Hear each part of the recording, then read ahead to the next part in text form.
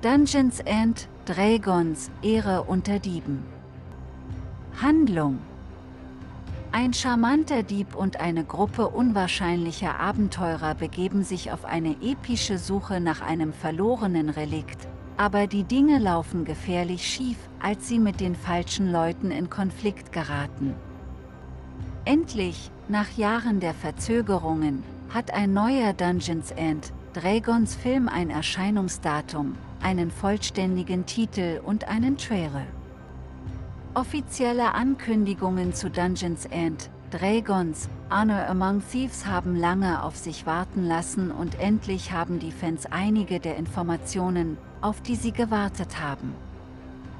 Für Fans des klassischen Tabletop-Rollenspiels und Fantasy-Fans im Allgemeinen war dies ein großartiges Jahr mit vielen Informationen, Spaß und interaktiven Veranstaltungen rund um den Film, der auf der San Diego Comic-Con und der CCXP gezeigt wurde.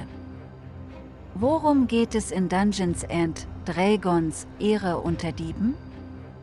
Dungeons and Dragons Honor Among Thieves folgt einem Team von Dieben, was angesichts des Titels nicht überraschend ist, die der falschen Person geholfen haben, das Falsche zu stehlen, und nun ihre Fehler beheben und die Welt retten müssen. Sie mögen Diebe sein, aber das bedeutet nicht, dass sie das ultimative Böse ihre Welt übernehmen lassen.